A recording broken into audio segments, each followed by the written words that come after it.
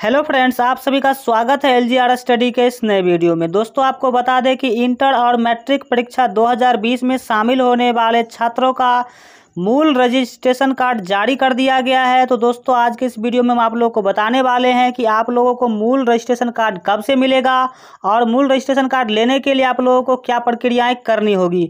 सो दोस्तों, इस वीडियो को अंत तक ज़रूर देखिएगा और अगर वीडियो अच्छा लगे तो वीडियो को लाइक कर दीजिएगा, साथ ही अपने दोस्तों में शेयर कर दीजिएगा।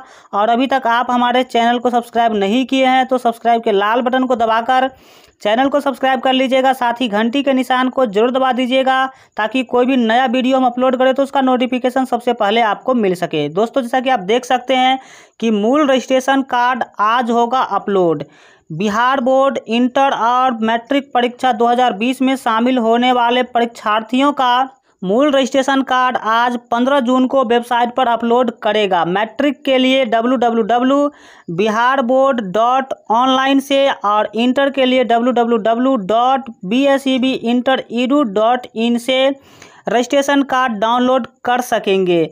बोर्ड अध्यक्ष आनंद किशोर ने बताया कि डम्मी रजिस्ट्रेशन कार्ड के लिए माध्यम से सुधार के कई मौके दिए जा चुके हैं। अब मूल रजिस्ट्रेशन कार्ड स्कूल और कॉलेज डाउनलोड कर संबंधित छात्र को देंगे। दोस्तों, आपको बता दें, जैसा कि आपने देख लिया कि पंद्रह तारीख को आपका रजिस्ट्रेशन कार्ड जो है, अपलोड किया जाएगा। लेकिन दोस्तों, आपको बता दें कि रजिस्ट्रेशन कार्ड आपको इस वेबसाइट से डाउनलोड नहीं करना है। स्कूल या फिर जो कॉलेज है, वो आपको डाउनलोड करके देंगे। जैसा कि आप देख सकते हैं कि स्कूल और कॉलेज डाउनलोड कर संबंधित छात्रों को देंगे। यानी कि स्कूल और कॉलेज के जो दोस्तों आपके प्रधानाचार्य हैं, वो क्या करेंगे? रजिस्ट्रेशन कार्ड डाउनलोड करेंगे और आपको देंगे।